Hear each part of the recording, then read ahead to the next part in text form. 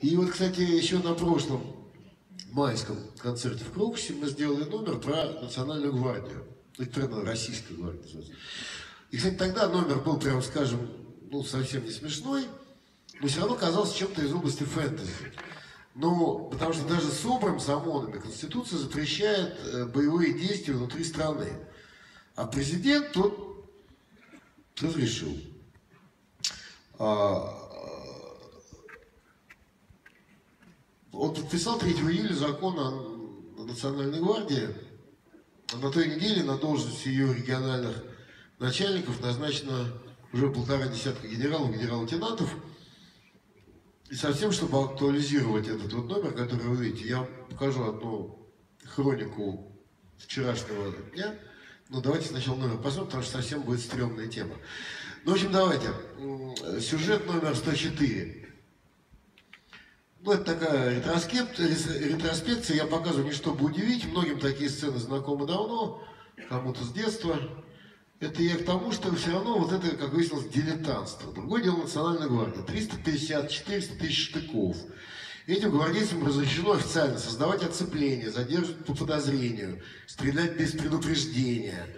Начальник их не Золотов, бывший шеф президентской охраны, чтобы не было сомнений, чьи это гвардейцы. Ясно, что не кардинала. Вот. Правда, зарплата даже у высших чинов, она малоубедительна, 50 тысяч рублей, но ради идеи можно пострелять в подозрительных даже за такие копейки. В общем, напоминает все это революционную диктатуру, чистый Маяковский, ну, как бы марш Маяковского, из стих Владимира Ивановича Маяковского называется «Левый марш». А наш номер называется какой-то левый марш. Ну, просим, Владимир Иванович Маяковский.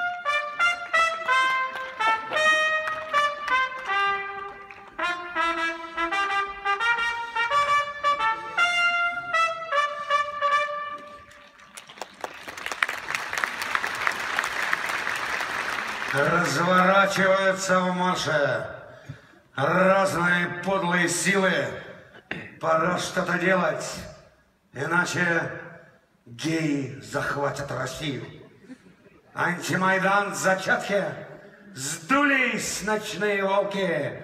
Нужно решать, ребятки. Ждать уже можно сколько. Довольно жить законом, ранее данным Госдумой. Как мы все это разгоним? Думай, думай, думай против тупых и упрямых. Кому идти в авангарде? Я отвечаю прямо. Национальной гвардии против любых радикалов. Средство есть радикальное в названии звон металла. Гвардия национальная палка и щит ОМОНа – это игра детсада. Ответ на стон миллионов. С предателем жестче надо. Не хочешь родине счастья? Растешь, как сорняк на грядке. Иди-ка сюда! Участник массовых беспорядков. Всех несогласных высечь. Гады переведутся. Нас 400 тысяч. Нужно еще найдутся в наши ряды стремисты с болотным гнусом баристы. Все они экстремисты, все они террористы. Пусть задрожат от страха враги черно-рыжей ленты. Скоро вас будет трахать гвардия президента. Эй, белолентные, бойся, валите отсюда или в ряд побарачно стройся покуда не завалили беременные. Не суйтесь, палкой по роже нате, дома себе беснуйтесь, когда в животе предатель. Впрочем, найдем и дома. Двери ломать умеем, не спрячут от нас в хоромах компьютер и мышь злодеи. Не допустить террора мы однозначно сможем. Нам не нужны прокуроры. Ордер не нужен тоже в горячем сердце. Идея в холодном мозгу, убеждения. Кстати, стрелять умеем мы без предупреждения. Право это святое. Нам президентам дадено. Кто там шагает стоя? ползком, на коленях гадины.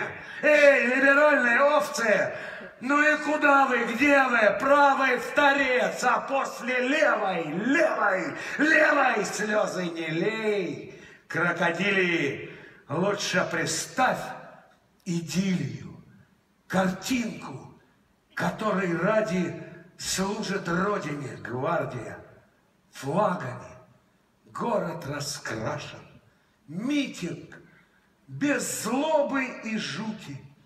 Тише, товарищи ваши, слово, товарищ Путин.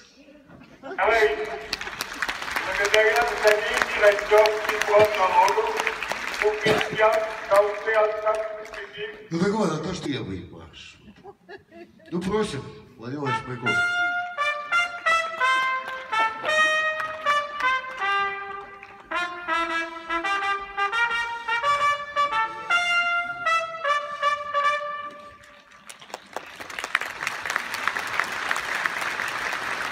Разворачиваются в марше разные подлые силы.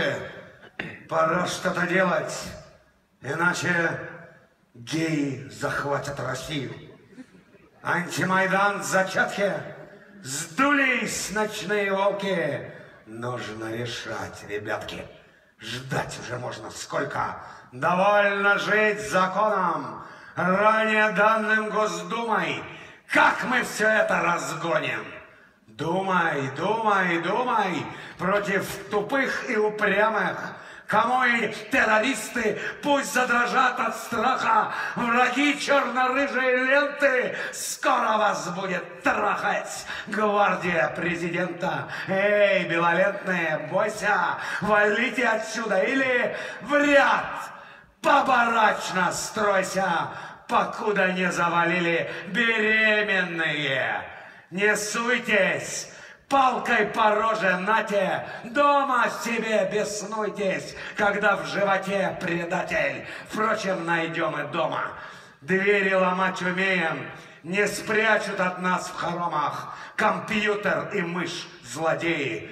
Не допустить террора мы однозначно сможем.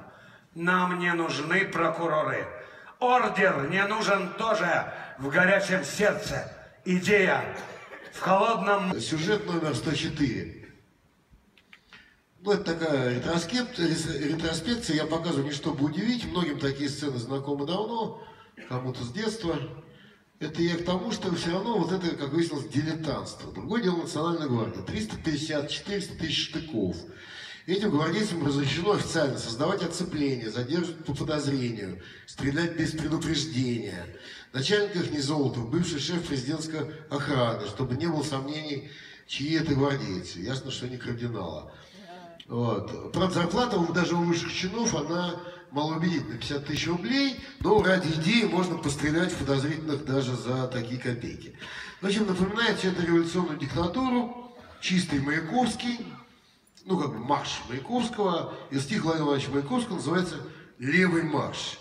А наш номер называется какой-то ле- Идти в авангарде, я отвечаю прямо.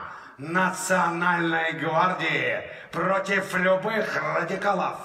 Средство есть радикальное. В название звон металла. Гвардия национальная палка и щит ОМОНа. Это игра детсада. Ответ на стон миллионов. С предателем жестче надо. Не хочешь родине счастья? Растешь, как сорняк на грядке. Иди-ка сюда! Участник массовых беспорядков. Всех несогласных высечь. Гады переведутся. Нас 400 тысяч. Нужно еще найдутся в наши ряды экстремисты с болотным гнусом баристы. Все они экстремисты, все они И вот, кстати, еще на прошлом майском концерте в Крокусе мы сделали номер про Национальную гвардию. Это гвардия называется. И, кстати, тогда номер был, прям скажем, ну, совсем не смешной, но все равно казался чем-то из области фэнтези. Ну, потому что даже с ОБРом, с ОМОНами Конституция запрещает э, боевые действия внутри страны. А президент тут разрешил. А, Он подписал 3 июля закон о Национальной гвардии. На той неделе на должность ее региональных начальников назначено уже полтора десятка генералов, генерал-лейтенантов. И совсем, чтобы актуализировать этот вот номер, который вы видите, я покажу одну хронику вчерашнего дня. Ну, давайте сначала номер посмотрим, потому что совсем будет стрёмная тема. Ну, в общем, давайте.